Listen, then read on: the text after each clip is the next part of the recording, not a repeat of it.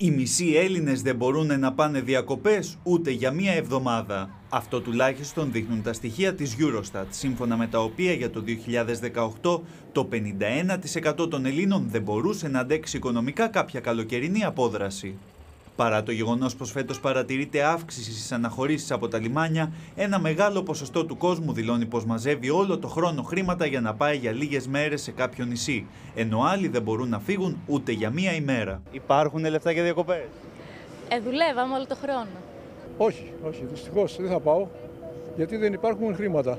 Θα κάτσουμε εδώ να περάσουμε αυτά που έχουμε. Ένα στους δύο Έλληνες περνούν το καλοκαίρι σπίτι τους στη στιγμή που ο ευρωπαϊκός μέσο όρο βρίσκεται στο 28,3%.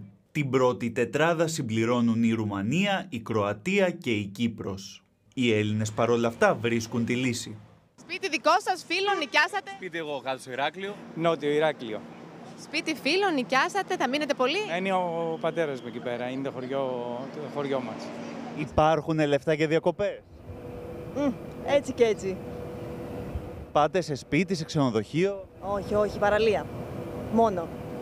Με άνεση κάνουν διακοπές οι πολίτες σε Λουξεμβούργο και Σουηδία με τα ποσοστά των ανθρώπων που δεν μπορούν να πάνε διακοπές να μην ξεπερνάει το 10%.